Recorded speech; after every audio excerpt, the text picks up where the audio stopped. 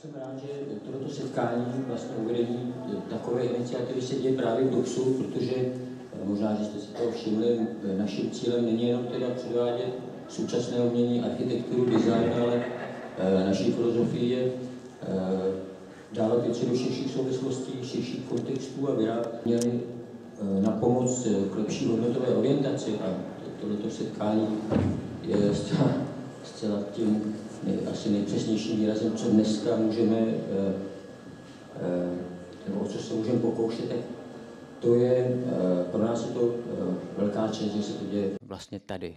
Takže já jsem moc rád, že sál je plný, tady vlastně nezbyla jediná židle a přidávám slovo. Děkuji, pane Válko, za vaše úvodní slovo, za přivítání a zároveň za poskytnutí toho sálu a pro naši akci. Vážené dámy, vážení pánové, vaše excelence, vzácní hosté, přátelé. Dovolte, aby vás to nejsrdečněji přivítal na oficiálním zahájení iniciativy pro evropské hodnoty. Mé jméno je Radko Hokovský, jsem ředitelem think tanku Evropské hodnoty a právě think tank Evropské hodnoty je spoluzakladatel této iniciativy na podporu principů liberální demokracie ve střední Evropě. Think Tank Evropské hodnoty je, řekl bych, perfektně vybaven k tomu, aby mohl v úzké spolupráci s osobnostmi, které se postavily do čela našeho úsilí, dát vzniknout této platformě, která si klade za cíl postupně změnit přístup k politice v naší zemi. Náš think tank staví na deseti letech zkušeností s kultivováním české veřejné debaty, zejména v oblasti evropských, zahraničních a bezpečnostních témat. Přestože, přestože jsme uspořádali přes 100 debat a diskuzí pro širokou veřejnost, naše práce se zaměřovala především na experty, státní úředníky, politiky a novináře, pro které jsme uspořádali stovky různých kulatých stolů, odborných konferencí a seminářů a publikovali eh, ještě větší množství komentářů, studií a doporučení. Eh, díky této eh, vytrvalé, já bych řekl, mravenčí práci jsme si vybudovali určité uznání. A dnes se na nás s důvěrou obracejí politici napříč spektrem, vysocí úředníci napříč rezorty a novináři napříč mediálními domy. Pro think tank by to jistě bylo zcela naplňující. Ale my jsme v našem týmu měli vždycky eh, trošku, řekl bych, hlubší ambice. Eh, a těmi eh, byla a je snaha zdůrazňovat hodnotová východiska tvorby politiky, hodnotové základy našeho politického systému a společnosti, jakože hodnotové, hodnotové důvody našeho členství v Evropské unii a Severoatlantické alianci. Proto nás vždy velmi znepokojovalo, když jsme si v průzkumech veřejného mínění eh, přečetli, že třetina našich spoluobčanů eh, by si dovedla představit život bez parlamentu a bez politických stran, a druhé třetině je to vlastně úplně jedno. A ještě více nás znepokojilo a zneklidňovalo, když jsme slyšeli nezodpovědné výroky některých našich politických představitelů, tváří v tvář novým bezpečnostním výzvám, eh, které přinesl, eh, přinesl minulý rok. V tomto kontextu jsme eh, došli k přesvědčení, že již nestačí pouze psát odborné, odborná doporučení a pořádat kulaté stoly pro úzký okruh zainteresovaných. A s velkou radostí jsme zjistili, že s naším pocitem nejsme osamoceni, že nežijeme pouze v nějakém akváriu, eh, ale že eh, pocit ze současné situace s námi sdílejí osobnosti, které ve svých různých profesích dosáhly úspěchu a respektu a dnes jsou připraveni se občansky angažovat a k tomu, a to je možná ještě důležitější, inspirovat i další. Protože, jak říkal Masaryk, demokratické instituce sami o sobě nestačí. Potřebujeme také ty demokraty. A jak říkal Havel, nestačí, aby se angažoval, angažovali e, jen někteří, vlastně potřebujeme, e, aby se angažovali a zapojili všichni. To je důvod, proč si v iniciativě pro evropské hodnoty e, klademe tři hlavní cíle. Za prvé, rozšiřovat povědomí o důležitosti principů liberální demokracie a vlády práva v domácí i zahraniční politice, a to zejména mezi mladými lidmi. Za druhé, vystupovat proti populismu, totalitnímu myšlení eh, v politice i ve společnosti a zabraňovat tendencím, které eh, naší zemi směřují mimo rodinu liberálních demokracií. No a za třetí jsme si vytkli za cíl podporovat osobnosti napříč politickým spektrem i napříč různými obory. Osobnosti, které hájí evropské hodnoty a ukotvení našich společností, nejen České republiky, ale další v našem regionu v rámci západní civilizace. No a tyto cíle budeme naplňovat eh, různým typem aktivit. Eh, za prvé spouštíme sérii velkých debat v regionech. Během tohoto roku uspořádáme v pěti krajských městech velké debaty. Začínáme již brzo, 6. května, na Jihočeské univerzitě v Českých Budějovicích s debatou pod názvem 70 let od války. Svoboda znamená zodpovědnost. Dalším typem aktivity je to, že na ty velké debaty navážeme menšími diskuzemi, které budou pořádat přímo mladí lidé na svých středních školách a ve svých okresních městech. Za třetí, vedle akcí přímo pro veřejnost v různých krajích naší země, budeme koordinovat postup mezi osobnostmi, ať už přímo v čele naší iniciativy, tak dalších, které budou chtít s námi spolupracovat v tom, aby hodnotový hlas byl více slyšet ve veřejném prostoru a v médiích. Naše aktivity budou mít i zahraniční konkrétně primárně středoevropský rozměr. Protože podobné výzvy, kterým čelí, čelí česká společnost, jsou vystaveny i naši sousedé. Na Slovensku, v Maďarsku, no a naopak v letčem se můžeme inspirovat od našich partnerů v Polsku. V neposlední řadě budeme v rámci klubu přátel evropských hodnot dávat příležitost lidem, kteří naše úsilí budou chtít podpořit, ať už praktickou pomocí nebo finančním darem.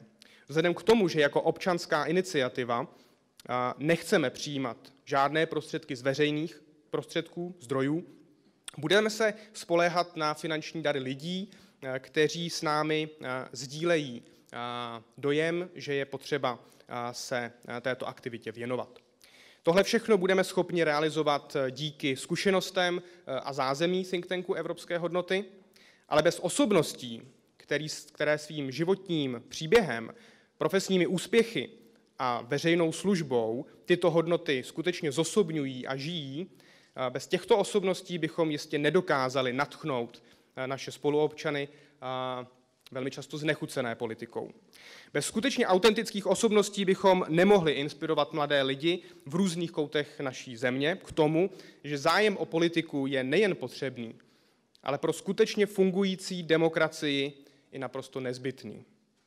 Máme proto velkou radost, že zde můžeme představit právě tyto osobnosti, se kterými jsme v průběhu posledních několika měsíců v rámci neformálních eh, rozhovorů rýsovali obrysy občanské iniciativy, kterou dnes zde můžeme představit. Předsedou dozorčí rady iniciativy, pro kterou nyní připravujeme i samostatnou právní formu, eh, je Petr Kolář, eh, bývalý velvyslanec mimo jiné ve Spojených státech amerických a v Ruské federaci a dnes eh, soukromý konzultant. Místo předsedou dozorčí rady eh, je Libor Rouček, bývalý místo předseda Evropského parlamentu, místo předseda socialistické frakce v Evropském parlamentu. A dále bych vám rád představil členy našeho poradního výboru. V jehož čele stojí Štefan File, Eh, bývalý eh, člen Evropské komise eh, a mimo jiné ministr pro evropské záležitosti. Dalšími členy poradního výboru jsou zde přítomní Jan Bubeník, kterého znáte jako studentského vůdce z revoluce před 25 lety, dnes podnikatel a generální ředitel společnosti, Bubeník, společnosti Bubeník Partners. Eh, dále mezi námi vítám dalšího člena poradního výboru iniciativy pro evropské hodnoty eh, Libora eh, Grubhofra, který je rektorem jeho České univerzity v Českých Budějovicích. A v neposlední řadě mezi námi máme i Milenu Jabůrkovou, která je členkou vedení a manažerkou vládních programů společnosti IBM v České republice a na Slovensku. Členem našeho poradního výboru je i Šimon Pánek, kterého také jistě znáte eh, z doby před 25 lety, eh, a který je spoluzakladatelem a ředitelem společnosti Člověk v tísni a který vás všechny zdraví, ale bohužel se nemohl zúčastnit, jelikož je právě na Kubě. Členkou poradního výboru naší iniciativy je i Lenka Rovná, která je prorektorkou Univerzity Karlovy v Praze pro e, oblast e, evropských témat e, a ta vás pro změnu zdraví z Antwerp, kde zastupuje Karlovu univerzitu na setkání Asociace evropských univerzit. V představování nemohu zapomenout ani na své kolegy ve výkonném týmu Iniciativy pro evropské hodnoty. Na Jakuba Jandu, který je tiskovým mluvčím a výkonným tajemníkem iniciativy, a Jana Tvrdoně, kterého znáte jako vedoucího projektu Demagog.cz a který je nyní i koordinátorem naší iniciativy. A nejen díky těmto lidem eh, vám dnes můžeme iniciativu představit. Je to i díky eh, finanční podpoře, které se nám dosud dostalo od tří individuálních dárců a od dvou společností, právní kanceláře eh, Squire Patent Box a České zbrojovky Uherský Brod. Dámy a pánové, já jsem v úvodu naznačil, že některé mm, výroky našich představitelů, nejen v naší zemi, ale eh, i v dalších eh, sousedních zemí eh, našeho regionu, nás nepokojují a že nás zneklidňují i některé tendence v našich, v našich společnostech. Ale máme velkou radost z toho, že to není zdaleka tak vážné, protože jsou osobnosti v naší zemi a v dalších zemích regionu, které mají co dát našim partnerům v Evropské unii nebo Severoatlantické alianci. V minulém roce eh, byl zvolen a jmenován eh, stálým předsedou rady, eh, Evropské rady Polák Donald Tusk. No a zanedlouho se ujme předsednictví vojenského výboru Severoatlantické aliance Čech, stávající náčelník generálního štábu armády České republiky Petr Pavel. Pan armádní generál je nejen příkladem vzorné eh, službě vlasti v uniformě, eh, ale i inspirací eh, pro mnohé právě svým přístupem nejen ke své práci, ale i tím, jak dokáže pojmenovávat hodnoty, na kterých naše společnost stojí. Jsme velmi rádi, že pan generál přijal pozvání na zahájení naší iniciativy, velmi si toho vážíme a nyní bych si dovolil mu předat slovo k hlavnímu a úvodnímu projevu. Pane generále.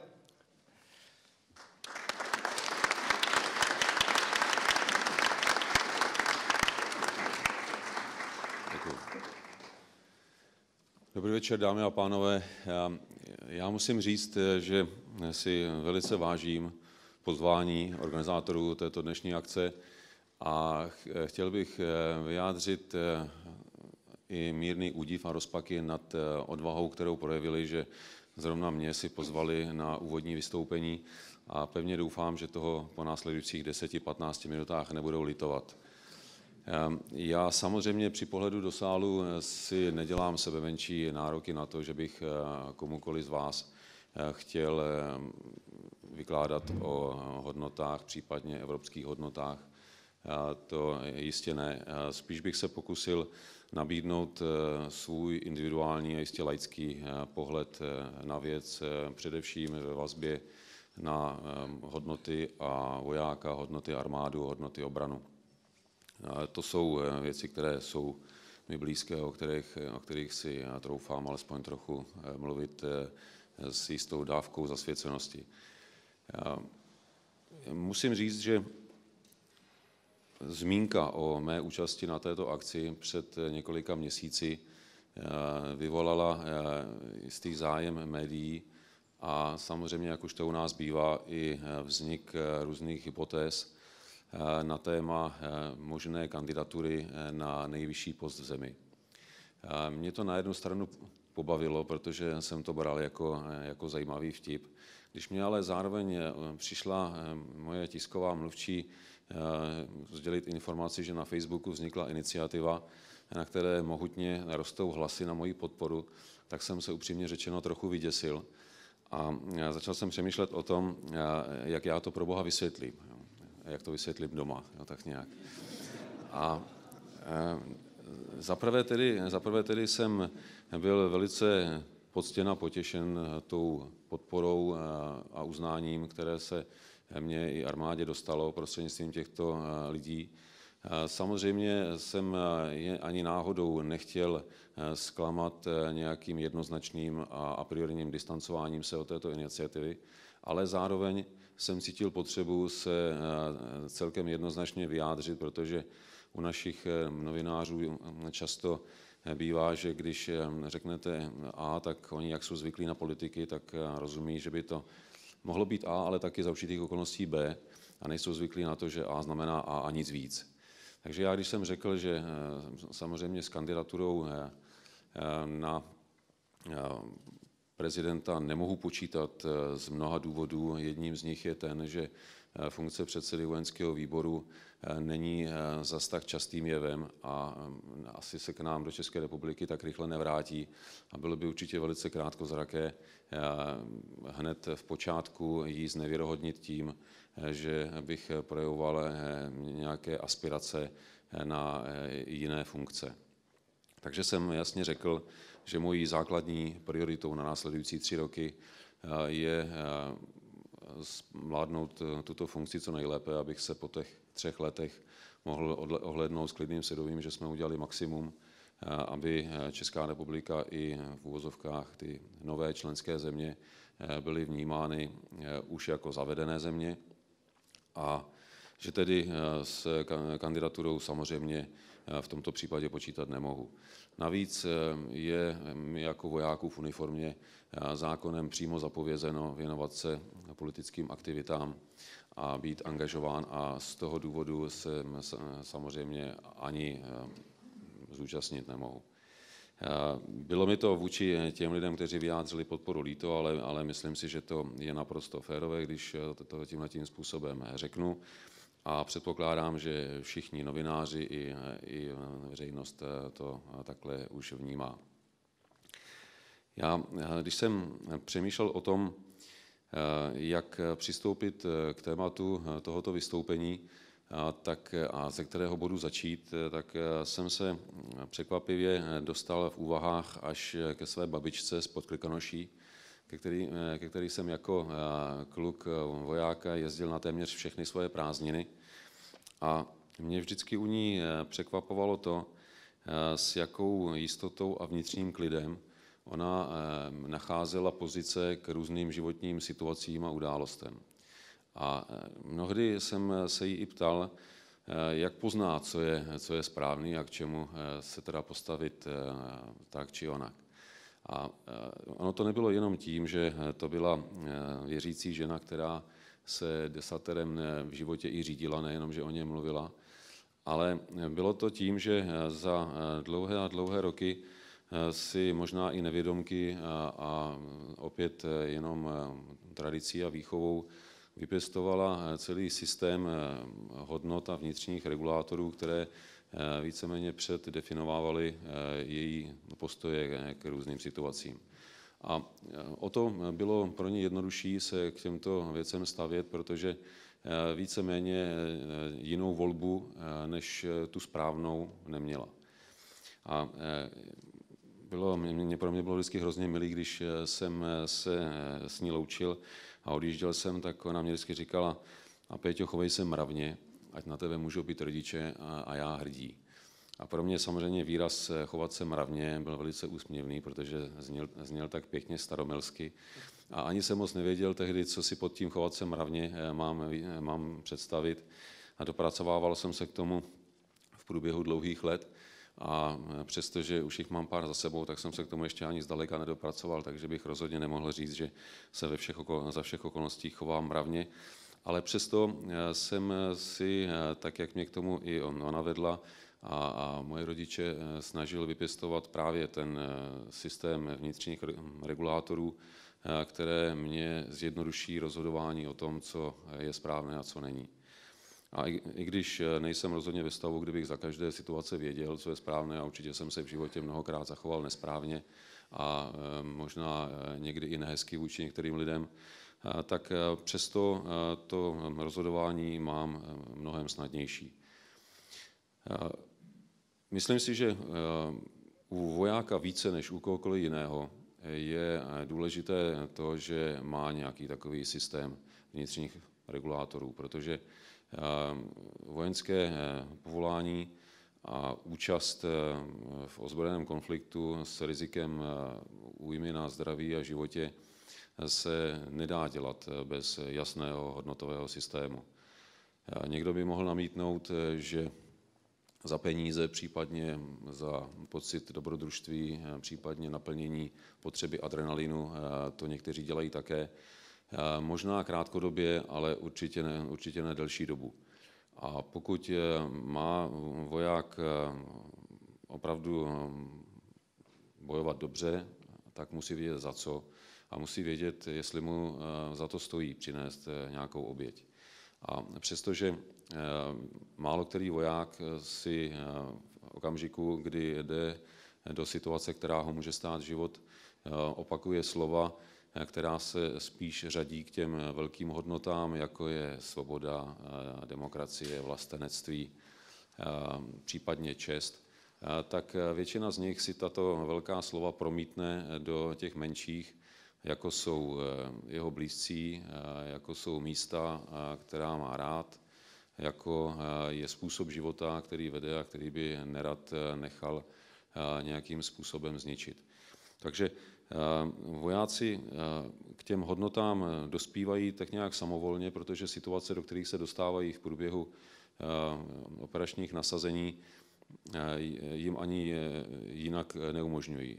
Nejenom proto, že právě ta orientace na hodnoty je vede ke splnění úkolu, ale mimo jiné i proto, že často je to otázkou bytí, nebytí, přežití nebo smrti, protože voják, který se spronevěří základní hodnotě nenechat kamaráda ve štychu, tak samozřejmě je nebezpečím nejenom svým kamarádům, ale v konečném důsledku i sám sobě.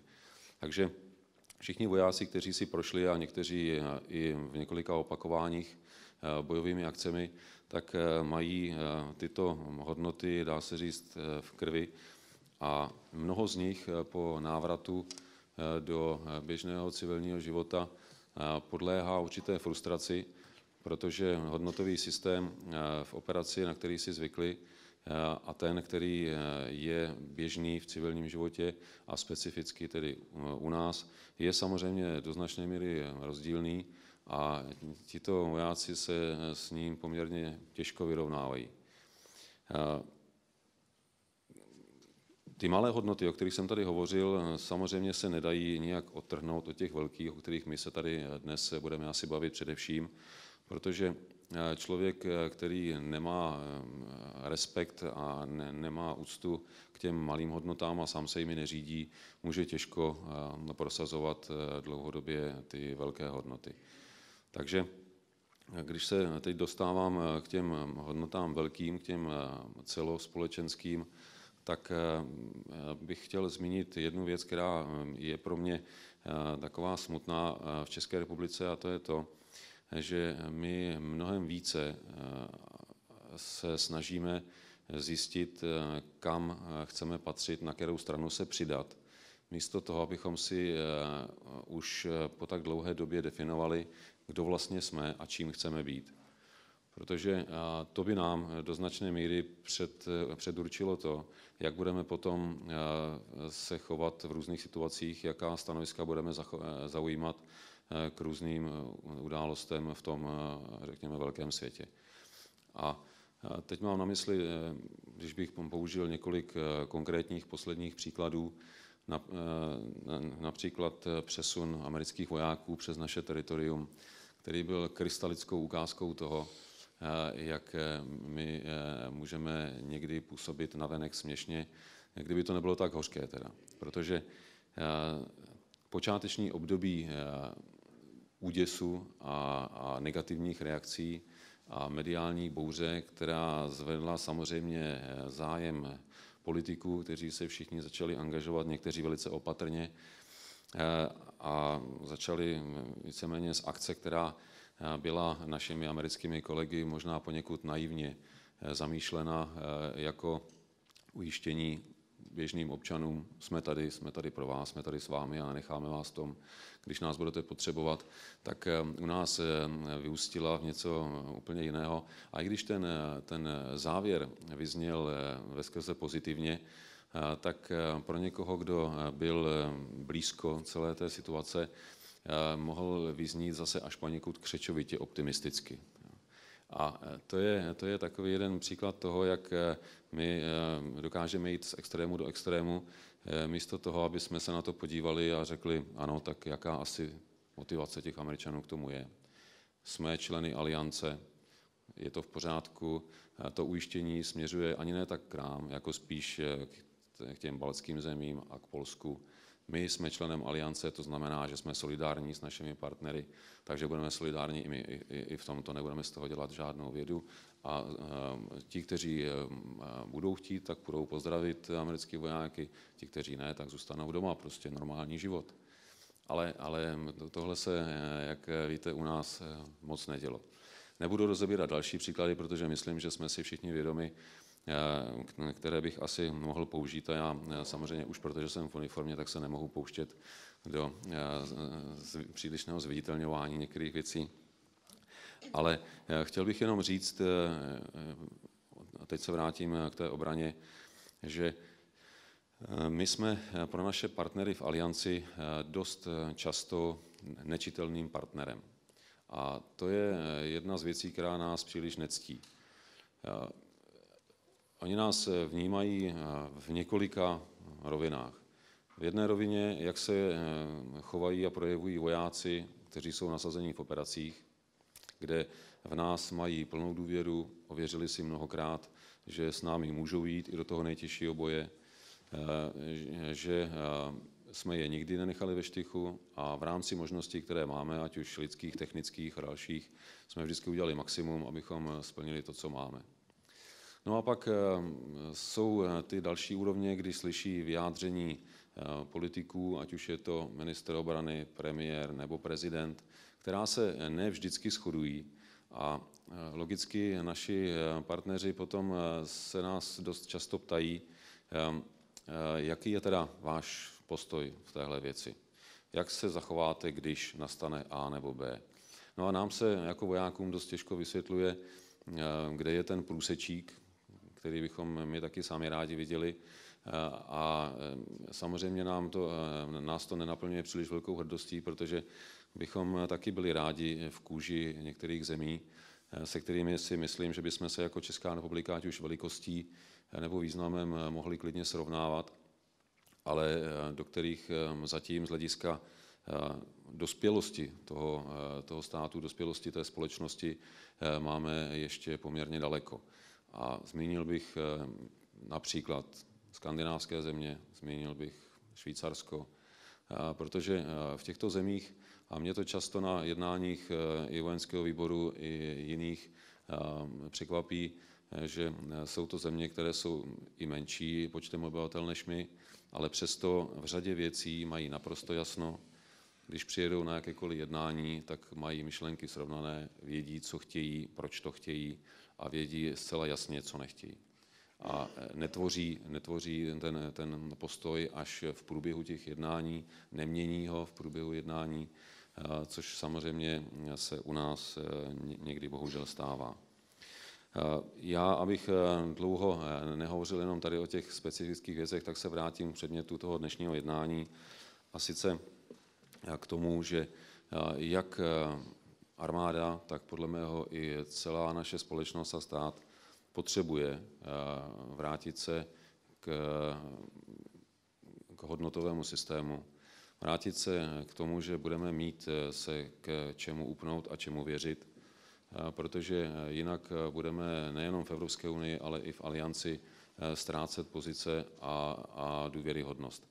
A to je určitě věc, kterou bych nerad zažil a naopak bych moc rád přispěl k tomu, aby se na nás naši partneři mohli dívat s důvěrou na všech úrovních, nejenom na, na té taktické, vojenské, řekněme. I proto jsem neměl sebe menší problém vystoupit na tomto schromáždění, i když mě to zpočátku někteří zazlívali jako politickou aktivitu. Já ji tak nevnímám, já ji vnímám jako podporu věci, o které jsem přesvědčen, že je správná a kterou určitě budu podporovat i v budoucnu. Mám za to, že v Evropě, i když máme mnoho kritických pohledů, tak je množství hodnot, na které můžeme být hrdí a kvůli kterým rozhodně stojí za to něco podniknout, pokud už není trochu pozdě k tomu, abychom je zachraňovali. Ale pozdě by nemělo být nikdy, takže bychom to měli alespoň zkusit.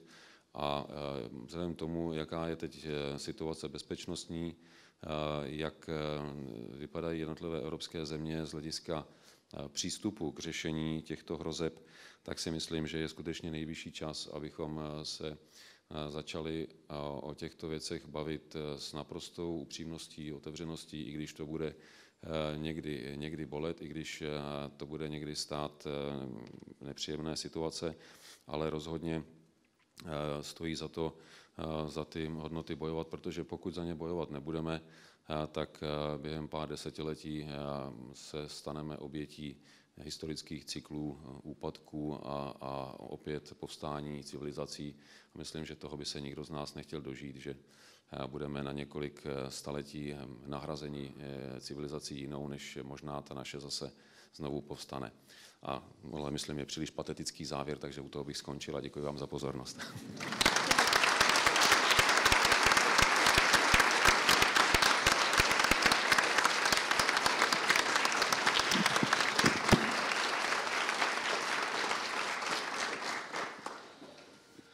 Děkuji, pane generále, za vaše hlavní úvodní slovo a nyní bych si dovolil předat slovo na panel. Jehož moderace se ujme paní Veronika Sedláčková. A vzhledem k tomu, že jsme již získali určité časové spoždění, tak přestože jsme plánovali, že bychom v závěru dali prostor nějaké diskuzi z publika, nevím, jestli se k tomu dostaneme, nechám to na zvážení paní moderátorce. Tak prosím. Dobrý den, já vás zdravím všechny. Hezké odpoledne přeju. Zdravím samozřejmě uh, už s mikrofonem všechny diskutující po mé levé i pravé ruce. A ta základní otázka asi zní, uh, proč vlastně se rozhodli připojit uh, k iniciativě pro evropské hodnoty, protože pan generál popsal, proč mu nedělalo problém vystoupit na této akci, protože má pocit, že stojí za to hodnoty pojmenovat možná říci, že stojí za to je chránit, ale nechám to na těch, kteří se ujmou za chvíli slova. Já začnu Petrem Kolářem, jestli mi na tu otázku odpoví, proč vlastně on se k iniciativě přidal a třeba jak dlouho mu trvalo rozhodování, jestli to udělá. Eh, děkuji, Veroniko, mikrofon funguje. Já na, na úvod musím předeslat, že jsem se dnes ráno, když jsem se díval na svůj mail, který mám na seznamu CZ eh, z nějakého důvodu, nevím, proč se mi to napadlo, eh, podíval na svůj horoskop a tam jsem se dočetl, že bych dneska neměl předvádět žádné intelektuální výkony.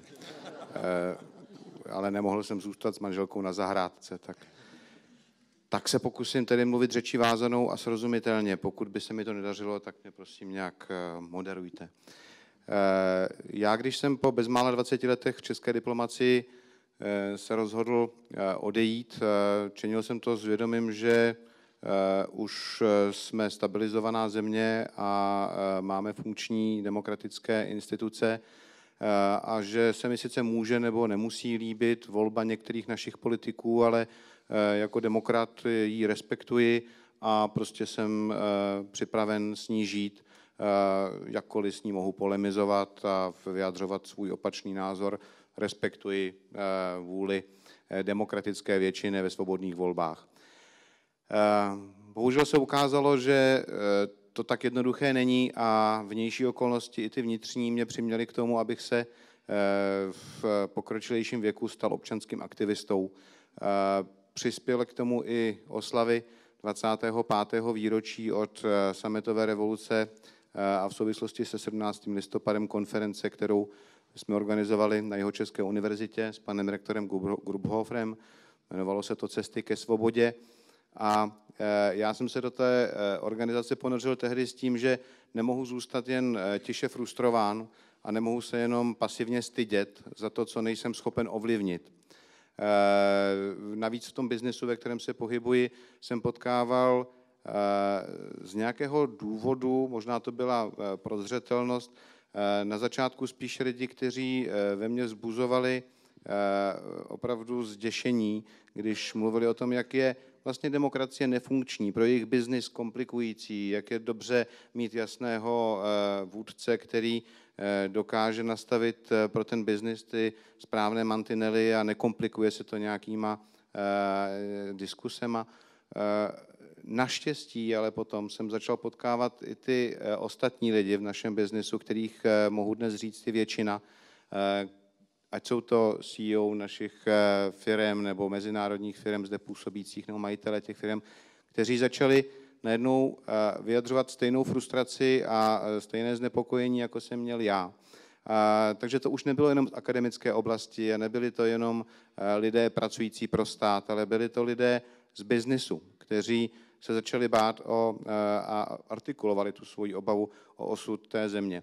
No a ta debata v Českých Budějovicích se studenty a s veřejností najednou jakoby nám pomohla, nám panelistům, co jsme tam byli, si začít nabíjet vnitřní baterie a cítili jsme, že je tady potřeba a že vlastně tu svoji frustraci sdílíme s řadou lidí, ale že tak úplně není důvod být pouze frustrovaný a pasivní a že ta hlasitá část je pouze menšinou. Ta hlasitá, která mluví o tom, jak jsou sankce škodlivé, jak to poškodí naši ekonomiku, teď mluvím o rusko-ukrajinském konfliktu, jak budeme mít 80 tisíc nezaměstnaných a jak je vlastně potřeba spíše se umět vždy za každých okolností domluvit a jestli je vůbec dobře, že jsme v té Evropské unii a v tom NATO, ona nám to možná trošku poškuzuje náš, na, náš biznis v Rusku a, a pak se ještě k tomu přidali některá vyjádření našich vysokých ústavních činitelů v cizích televizích a e, strašení moderátorů různými loutkami.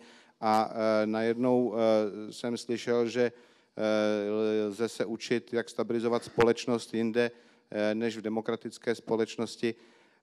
Takže mě to vlastně přimělo k aktivitě, o které bych si byl ještě před časem myslel, kdyby mi to někdo řekl, že to budu dělat, že, že se zbláznil. A strašně mě to pomáhá se svým vlastním svědomím, s mým vlastním pocitem, že nejsem pouhým přijímačem, ale že se budu snažit svou malou troškou do mlína přispět, že navíc, a to už zde zaznělo, máme se o koho opírat, že jsou tady osobnosti, které si zaslouží naši podporu, podporu veřejnosti, té, která chápe ty hodnoty správně, protože jsou představiteli těch hodnot, o které nám jde, a že tou osvětou, kterou plánujeme dělat, to znamená těmi debatami v regionech, snad se nám podaří zbudit takový ten efekt té sněhové koule, že více lidí bude tu svoji frustraci a stud, který prožívají, dnes přetavovat do něčeho konstruktivního, pozitivního, že nejsme proti něčemu, ale že jsme pro něco. A že se nám snad povede tedy nakonec předat těm dalším generacím, které tady budou vyrůstat, zemi, která je jednoznačně ukotvená v euroatlantické civilizaci, v hodnotovém prostoru, pro který řada lidí dřív trpěla a i umírala a my bychom to neměli prošustrovat. Takže to byla ta motivace a ten horoskop teda mě omlouvá, že jsem mluvil tak dlouho. Pardon.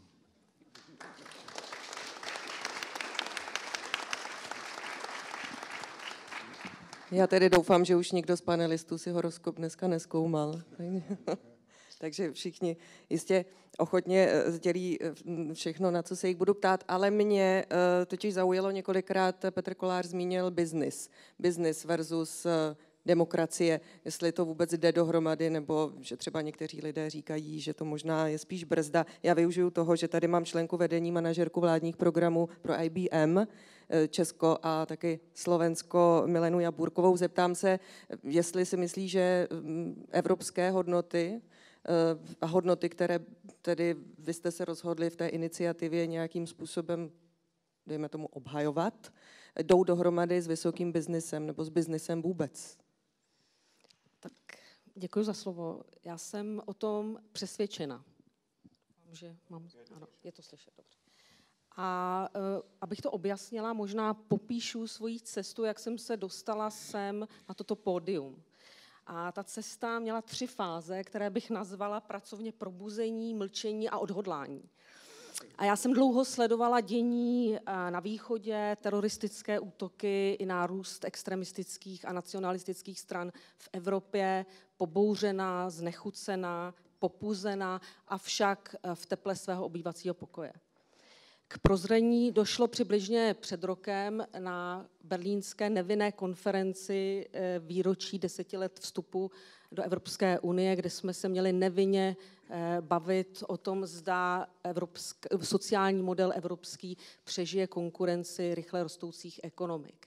Nicméně tam zaznělo několik eh, velmi nečekaných sdělení, a to od ruského kolegy, který nás ujistil, že ruská strana má problém s rozšířením eh, z roku 2004, eh, protože západní model demokracie není vhodný pro státy střední a východní Evropy a že tento stav by se měl revidovat. A čínský kolega dodal, liberální demokracie je překonaná, let's face it. A já jsem si v tu dobu uvědomila, že nesedím v teple svého obýváku, ale že jsem se ocitla přímo uprostřed eh, bitevního pole.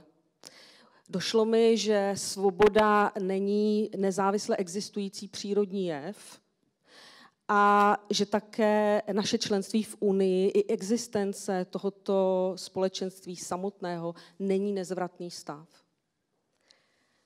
Teď se dostávám do, eh, do roviny mlčení. Eh, o to víc mě začalo znepokojovat mlčení, které panovalo v Čechách. Začalo mě znervózňovat.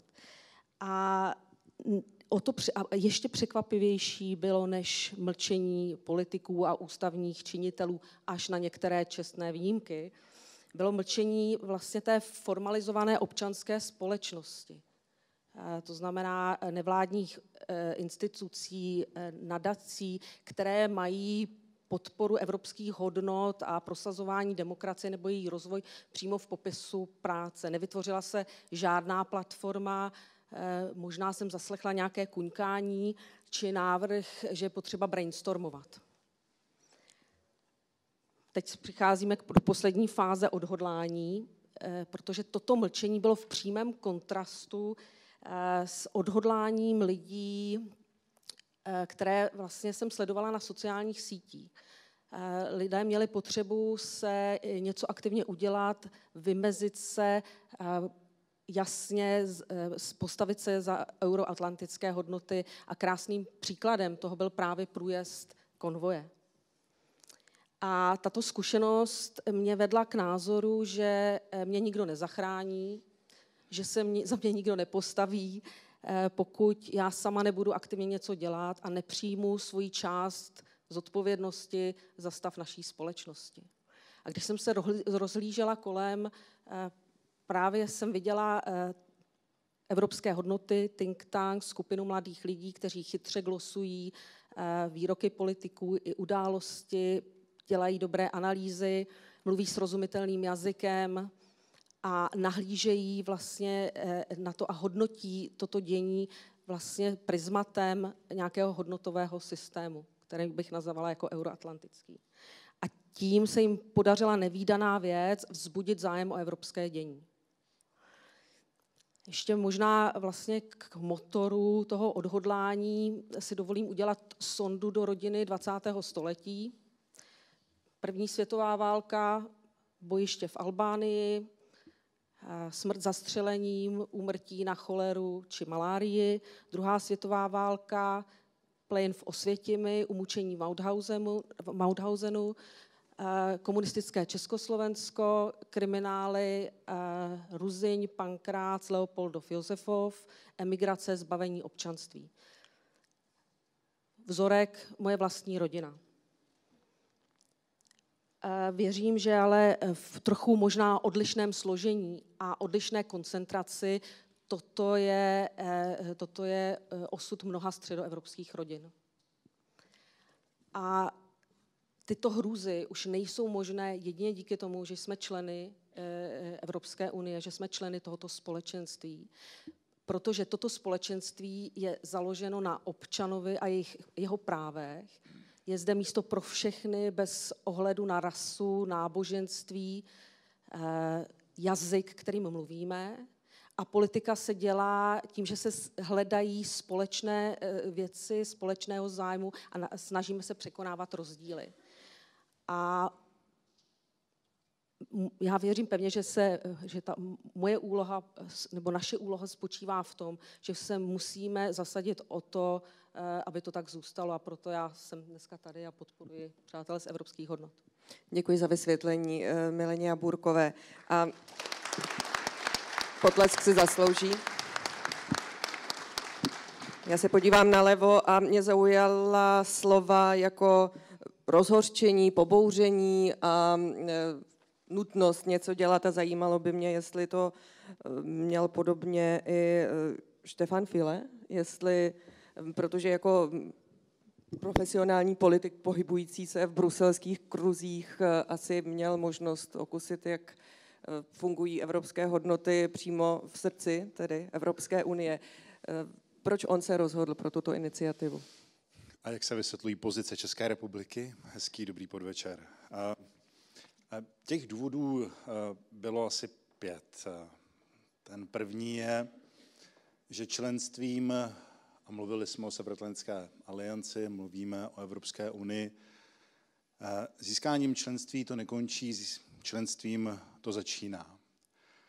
A já bych chtěl aspoň trošičku přispět k tomu, aby jsme přestali se na Evropskou unii dívat jako na jednu z mnoha mezinárodních organizací, prostřednictvím kterých naplňujeme své národní zájmy.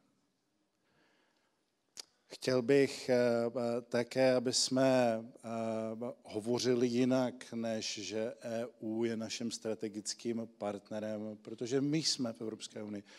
Všechny tyhle ty projevy přece nás tlačí do toho, že potom si sedneme někdo do koutku a řekneme, tam stejně nic neprosadíme. Opak je pravdou. Čím větší ambice budeme mít, čím větší schopnost, a, a, a koukám na několik diplomatů ze stáleho zastoupení a z komise, a, a tím víc dokážeme dosáhnout.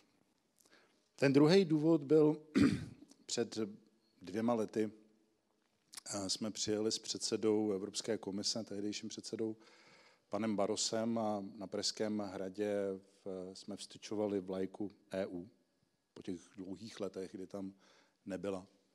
Pro mě to byl eh, jakýsi závazek, pro mě to byl začátek. Pro mě eh, od samého začátku jsem to takhle bral. Eh, vlajka je ten první krok. Konečně se začneme bavit o Evropské unii. Konečně v podhradí začneme Evropskou unii brát tak jako normálně, jako součást sebe sama. A začneme jít jinou cestou, než že Brusel je to místo, kam si jedeme odboxovat ten náš zápas aby jsme se potom vrátili k těm našim lokálním eh, českým problémům. A to se nestalo. A já bych eh, hrozně chtěl ten druhý krok udělat.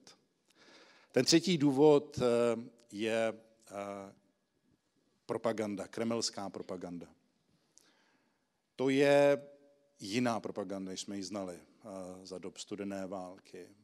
Je nebezpečnější ona mobilizuje a ona nepřesvědčuje o své pravdě. O to, jednodušší, o to jednodušší by s ní bylo bojovat.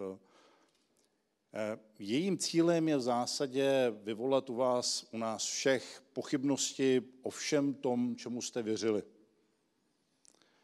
A, a v tom tkví její eh, nebezpečí. A o tom, že má u nás dost prostoru v České republice, ve střední Evropě, ale, ale vůbec v Evropě jako takové, a o tom snad vás nemusím přesvědčovat.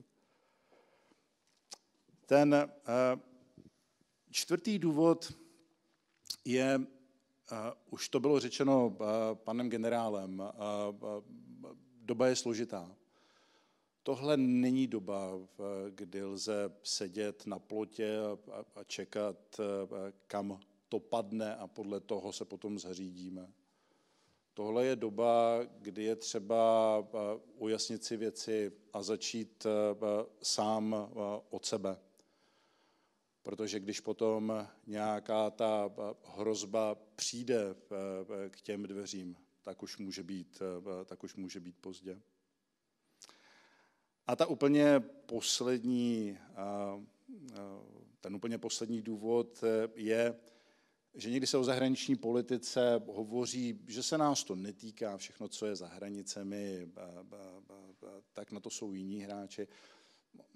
Je to jeden velký nesmysl. My jsme vždycky byli ovlivňováni tím, co se děje kolem nás. A, a v 21. století jsme a budeme ovlivňováni ještě víc. A já bych chtěl, aby zahraniční politika byla součástí naší vnitřní politiky, je logickým pokračováním za prvé. A za druhé, aby jsme v zahraniční politice také dokázali dát dohromady oba dva způsoby vidění, oba dva úhly vidění. Zájmy a hodnoty. Čím dál je od sebe budeme nechávat, tím na větší problém si zaděláváme v budoucnosti. Čím blíž budou v tom, jak se chováme k našim zahraničním partnerům, o to složitější to budeme mít. Ale o to jasnější a pozitivnější výsledek takového snažení. Děkuji.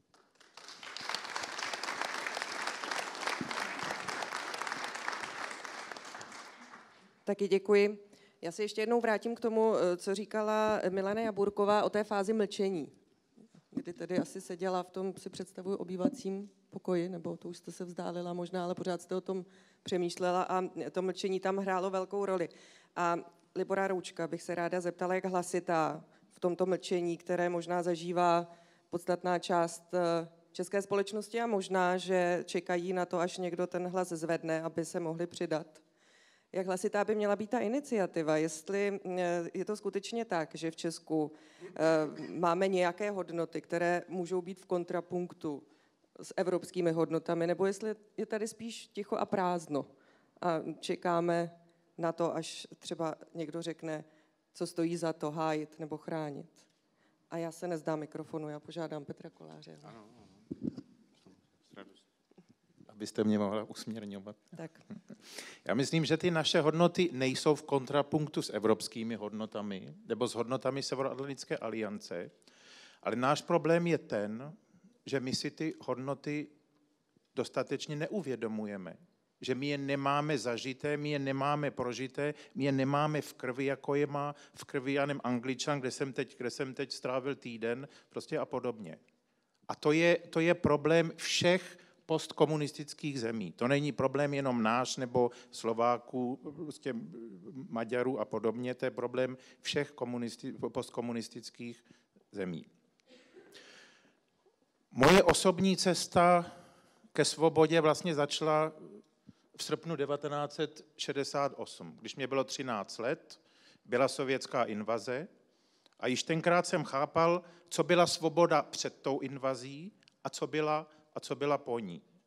Já jsem ty hodnoty, hodnoty svobody, spravedlnosti, rovnosti hledal neustále, protože jsem je tady nemohl najít, protože jsem chtěl například studovat politologii, která tady nebyla. Chtěl jsem vidět svět, chtěl jsem něco dělat pro změnu toho systému, který tady existoval. No tak jsem musel odejít do, do zahraničí, odešel jsem ve 22 Vystudoval jsem tu politologii a celou dobu, jak v tom rakouském exilu, později v Británii, v Americe na hlasu Ameriky, jsem prostě pro ty hodnoty se snažil něco dělat. Takže když jsem byl třeba na hlasu Ameriky, to, byl, to už byl, psal se už ten rok, řekněme 88, už se to začalo krok za krokem routit, tak jsem si říkal, jak mohu nejlépe, jak mohu nejlépe pomoci, jak mohu nejlépe přispět. Tak jsem začal psát seriál vlastně o, o, o politologii, o hodnotě, o hodnotách svobody, o hodnotách západní demokracie, který, byl, který byl vysílán na hlasu Ameriky, který později přetiskli, přetiskla Mladá fronta, tady jsme na Slovensku. Dal jsem to do takové útlé knížky, byla to taková první, první politologie, kde jsem vysvětloval základní, základní principy, jak hodnot, tak i státu. Například politické, politické strany. Tady byla také řeč o politických stranách. Zda politické strany, zda by neměly být hlasitější. Já si myslím, ano, ty demokratické politické strany by si měly uvědomovat, že mohou fungovat, nebo že jsou tady jenom z toho důvodu, že tady máme svobodu. Protože když jsme tady tu svobodu neměli, nebo kdybychom ji opět neměli, tak ty politické strany, včetně té mé sociální demokracie, by tady nebyly.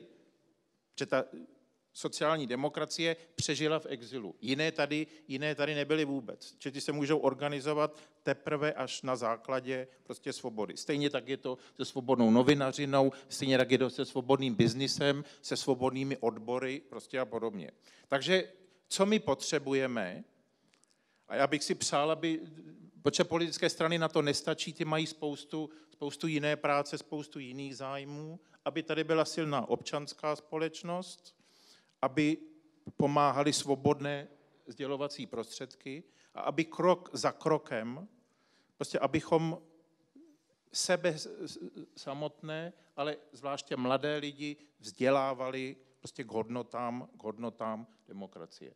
A k těm, protože já jsem sociální demokrat, tak těm vedle té svobody patří i určitá sociální spravedlnost. Protože náš problém dnes je ten, že velké procento lidí, tady byly řečeny některé, některé statistiky, ale třeba 30% lidí je přesvědčeno, že polistopadový vývoj pro ně nebyl pozitivní, jak z osobního hlediska, tak i z toho celospolečenského. Takže tady nejenom tato iniciativa, ke které se samozřejmě rád připojí, ale i další iniciativy, vysoké školy, střední školy, prostě politické vzdělávání, to tady, to tady také chybí. Já když jsem přišel do Německa, je tam, je tam spolková centrála pro politické vzdělávání. A ty vzdělávají prostě mladé lidi, děti už od, jak se říká, od, těch útlých školních let. Takže já bych si přál, aby prostě toto krok za krokem, není to krátkodobá cesta, není to nějaká hurá akce, prostě, která dnes začne a, a, a příští rok nebo tak skončí. Je to dlouhodobá prostě masarykovská, mravenčí, sisyfovská práce, krok za krokem tu naši společnost v hodnotách vzdělávat. Protože potom, když si ta, hodno, ta společnost bude těch hodnot vědoma, no tak bude jak tu svoji svobodu, tak i ty instituce, které ty hodnoty zobrazují, jak ať je to Evropská unie nebo na to, prostě pak bude ochotná, když někdo tuto svobodu ohrozí, prostě do toho zápasu jít a ať je to, ať je to nějakou mírovou cestou, nebo i, nebo i nedej Bůh, prostě nějak v ozbrojeném konfliktu prostě ty svoje, ty svoje hodnoty hájit. Takže tato iniciativa by tím malým dílkem, si myslím, měla k tomuto, k této osvětě, k tomuto politickému vzdělávání přidat a já se, já se samozřejmě, tak jako už jsem to činil posledních 40 nebo kolik let, tak se přidám taky. Děkuji. Děkuji.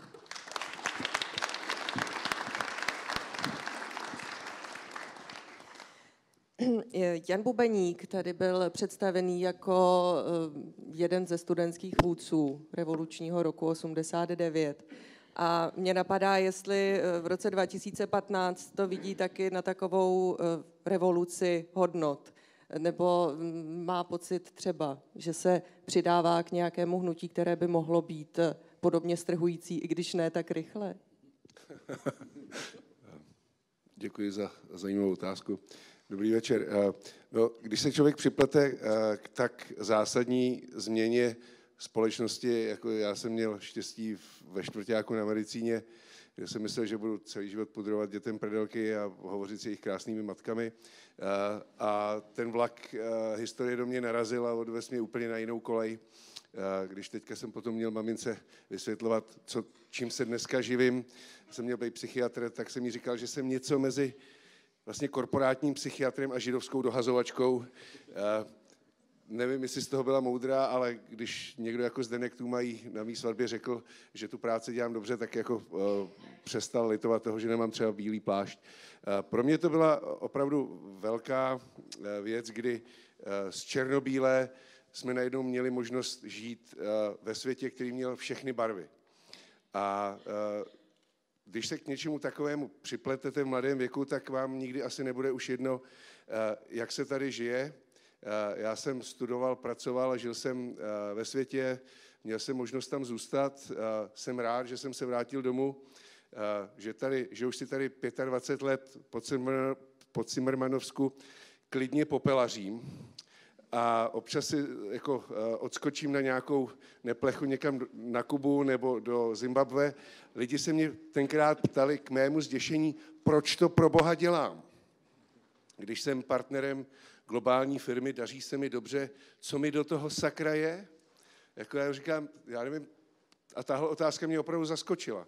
Já jsem říkal, já si myslím, že je potřeba se podělit o tu naději, že se jednou ti lidé budou moc věnovat stejnému popelaření jako já.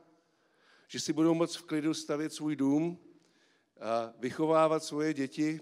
Za pár týdnů mě čeká čtvrté že si budou moct v klidu budovat svoji vlastní firmu a třeba dělat pro ten stát nebo ho poslat k brdičkům a že prostě můžete žít ve svobodné společnosti a můžete si definovat do velké míry to, čím jste a čím chcete být. A, takže ty frustrace, o kterých tady mluvili mý předřečníci, jsou mi velice blízké a 17. listopad mě Eh, zastihl zaplať pámu v Bratislavě eh, na pozvání Andreje Kisky, který pro mě byl, když už mi začala docházet eh, naděje o tom, kam se to ta střední Evropa řítí, jako nádherný zázrak a pro mě Havel číslo dvě.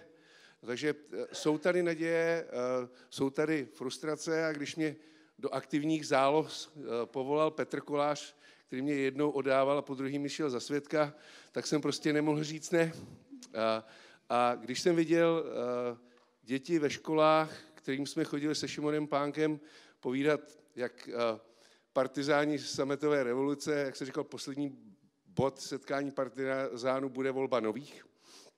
A s, jakým, s jakou radostí a s jakou uh, kuriozitou ty děti nám kladly otázky, uh, a jak jsme na ně někdy hrozně těžko hledali odpověď a, a jaká byl, jaký byl zájem o ten náš životní příběh a proč děláme to, co děláme, a, tak jsem prostě musel od těch popelnic zase jít k tomu, že si tady dneska s vámi povídám a že, jsem, že mi dává velký smysl se o ty moje hodnoty a o to, o to moje motivaci a proč mám pocit, že jsem mohl žít úspěšný a naplněný život, byť doufám, že ještě ta lepší půlka mě čeká, ale myslím si, že, že se nikdo o to nepostará než my a doufám, že budeme spojovat ostrůvky pozitivní deviace a že tak jako na té Kubě e, jsem těm lidem při těch bytových seminářích říkal, že e, se nezbláznili oni.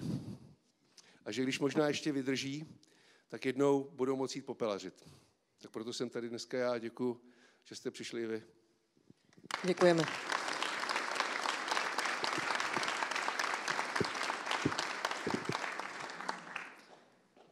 Zbývá rektor jeho České univerzity v Českých Budějovicích Libor Grubhofer.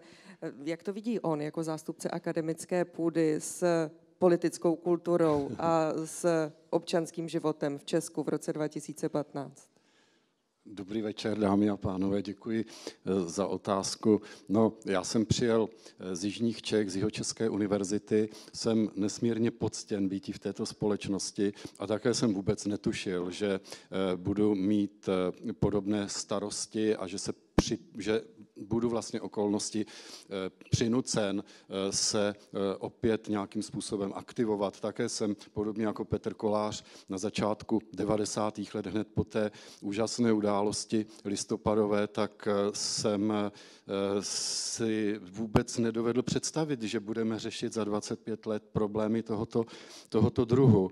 A já si uvědomuju, že vysoké školy samozřejmě mají eh, v tomto směru, jak se říká, obrovský potenciál. Pracují s mladou generací a ta mladá generace je, eh, je úžasný dar pro nás. A vždycky, když přijdu do velké posluchárny naplněné studenty, tak mě ten optimismus doslova zalije. A vím, že to už jsou, to už jsou jiní lidé. Víte, občas se mně stane, také i na jeho České univerzitě, že přijde nějaký anonym, který si stěžuje a máme takového anonyma, který tam v závěru vždycky uvede studenti jeho České univerzity.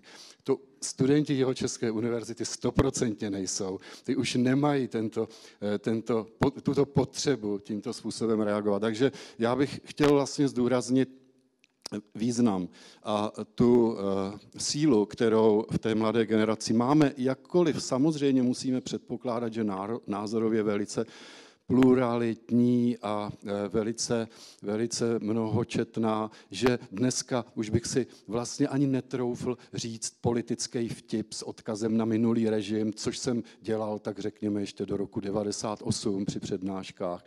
I přednáškách z biochemie jsem nacházel určité souvislosti, ale e, teď už si to netroufnu a e, a spolehám na ten, jejich, na ten jejich zdravý rozum.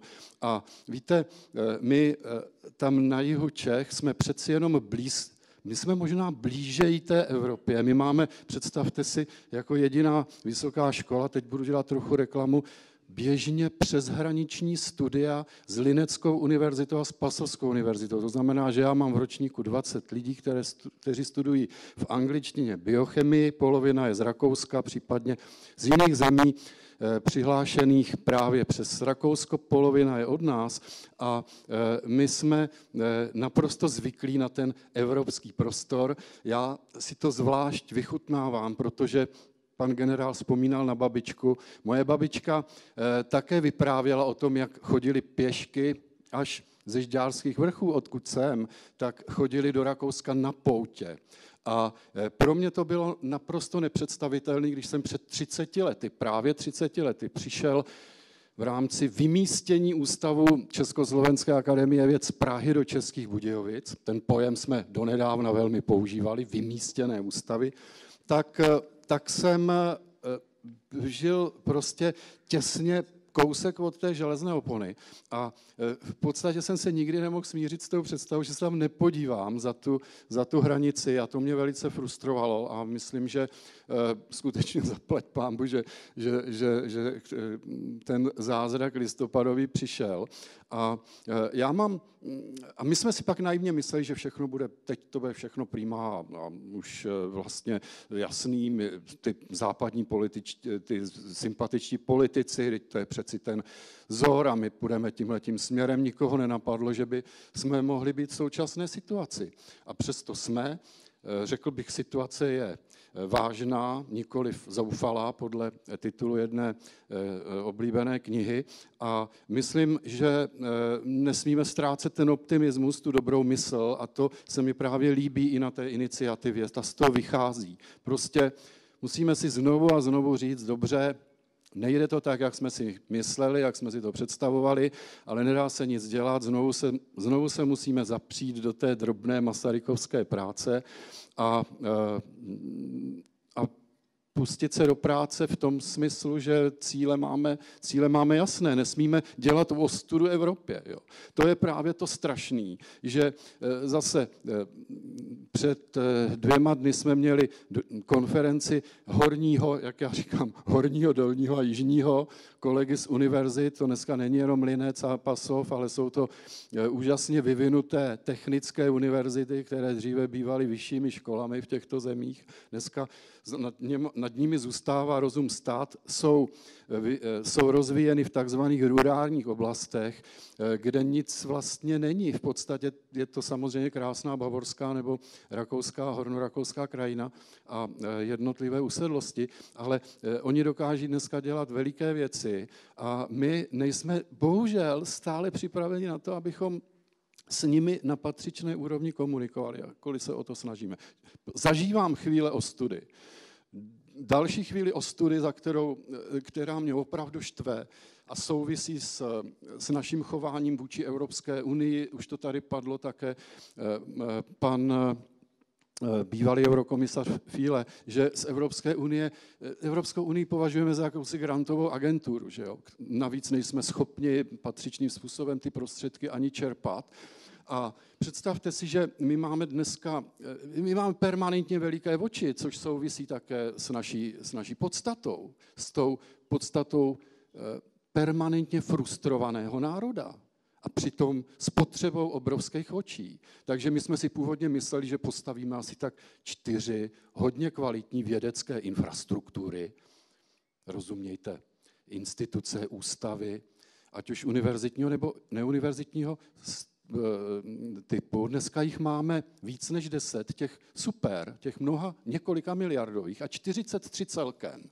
A nevíme, co s tím, utíkáme před tím problémem. A najali jsme si dokonce do postu exekutiv direktorů, excelentní lidi z Ameriky.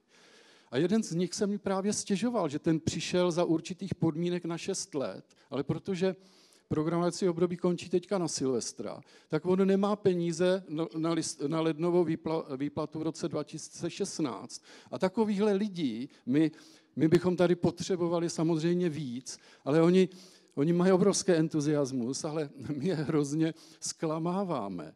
A je to právě eh, v té frustraci naší, v tom, že my nejsme, eh, že, že vlastně eh, nakonec každý myslí z pravidla víc na sebe, než, než by měl a že se podle toho Václava Havla nechováme odpovědně každý, tak, jak by, jak by, jak jak, jak by se slušelo. A děláme tím ostudu. Já jsem s ním hovořil asi dvě hodiny a, on, a, a bylo mě hamba, protože jsem nevěděl, no, samozřejmě to říkal, až budete mít tu schůzi těch rektorů, tak prosím vás to tam řekněte, protože samozřejmě tam přijede, tam přijde premiér, přijde tam z pravidla dva ministři, ale nikdy se nedá nic dosáhnout, absolutně se nedá nic dosáhnout. Ale to jsem zaběh někam jinam, protože víte, i to, tohle souvisí abychom, abychom se posunuli v tom evropském kontextu, tak nám musí fungovat stát. A ten nám nefunguje. A tak já se teďka omlouvám, že jsem, že jsem nastolil několik tak silných témat, že eh, máme v té iniciativě skutečně co dělat. No.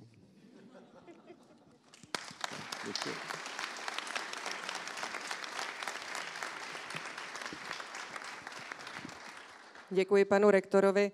Eh, já mám ještě jednu otázku a eh, trošku mě na ní přivedl pan generál Pavel, tak zatrnulo mi lehce, když jste začal mluvit o tom, že prezidentská kampaň a tak dále.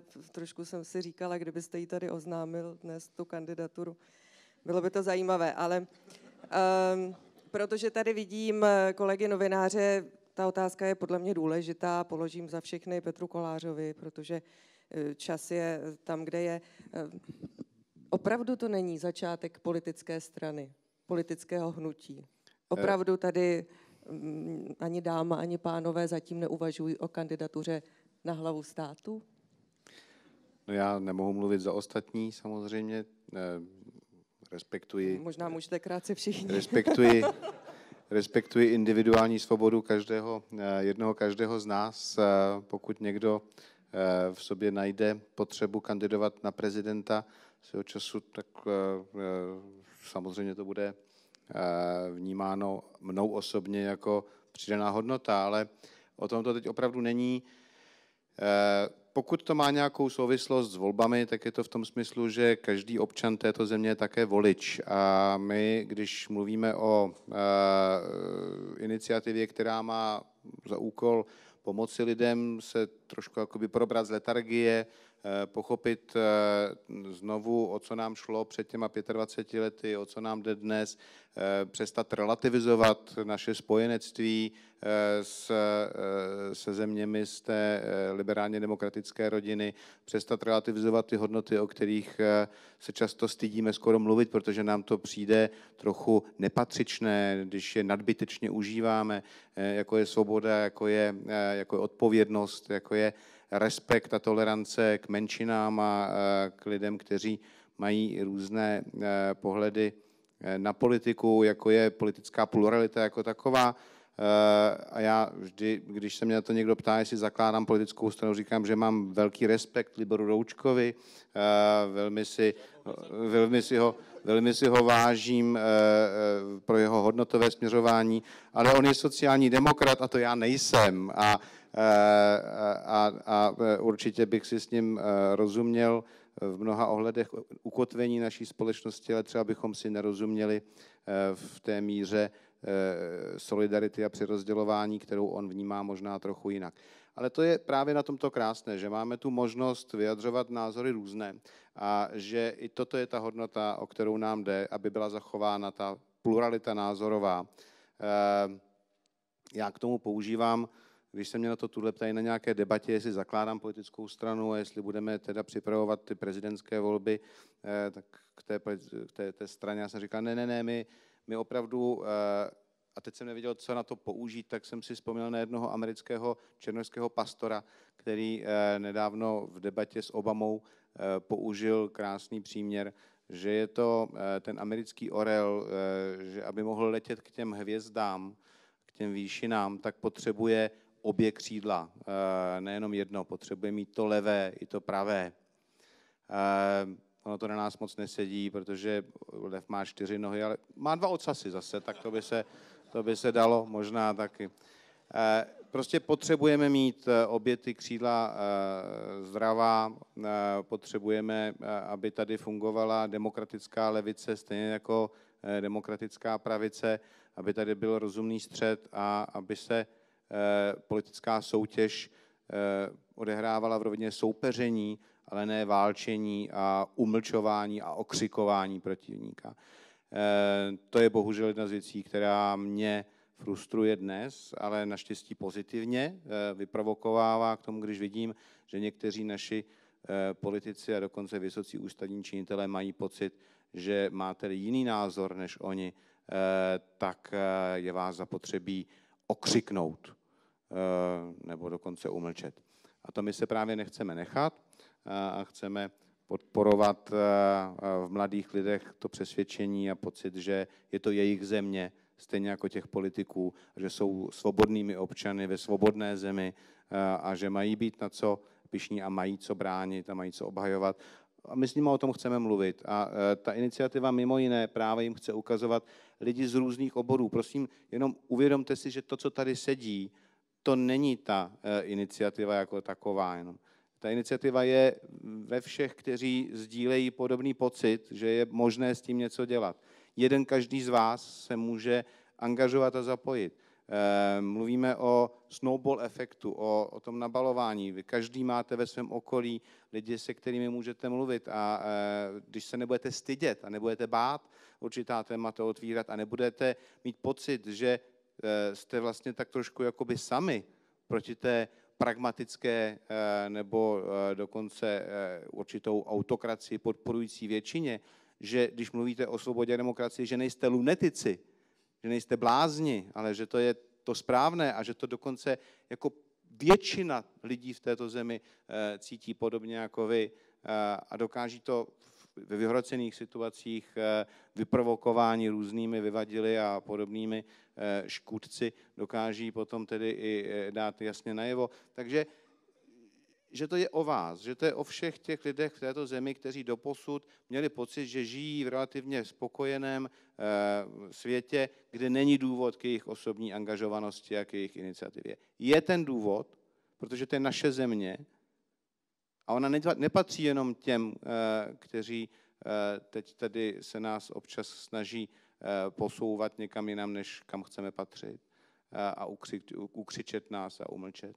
Je to naše země, proto ta iniciativa se týká vás všech a jednoho každého z vás a jeho iniciativy. Takže ne žádná politická strana, občanská aktivita, iniciativa a s těma prezidentskýma volbama, to si jednak ještě musíme počkat. A rozmyslet. A, a rozmyslet, no. A vybrat, aby ti lidé, kteří, se kterými mluvíme, věděli, jaké si mají vybírat politiky, aby se potom za ně nemuseli stydět.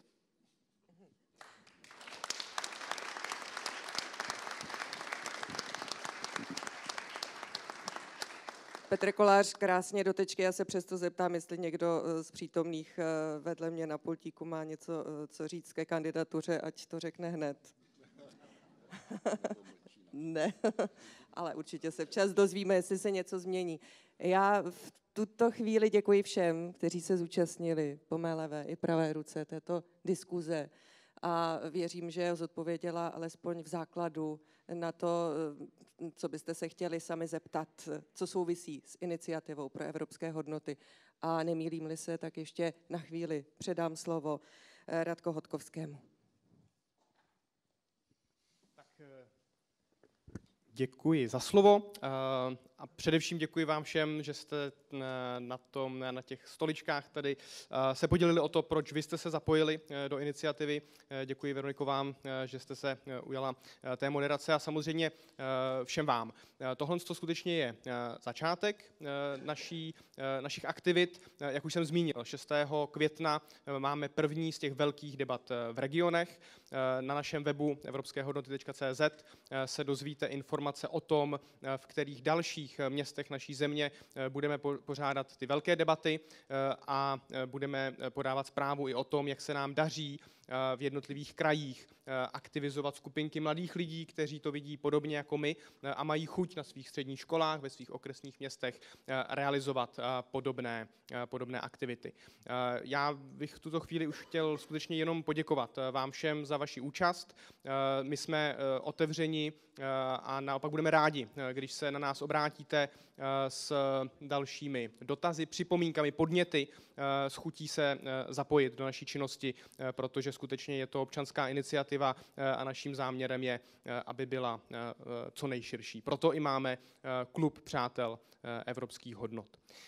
Čili moc děkuji a nyní už bych chtěl pouze pozvat na recepci ti, kteří byli pozváni a disponují tou malou kartičkou, se svým, se svým jménem. A věřím, že se všemi ostatními se brzy uvidíme na nějaké další akci iniciativy nebo think tanku Evropské hodnoty.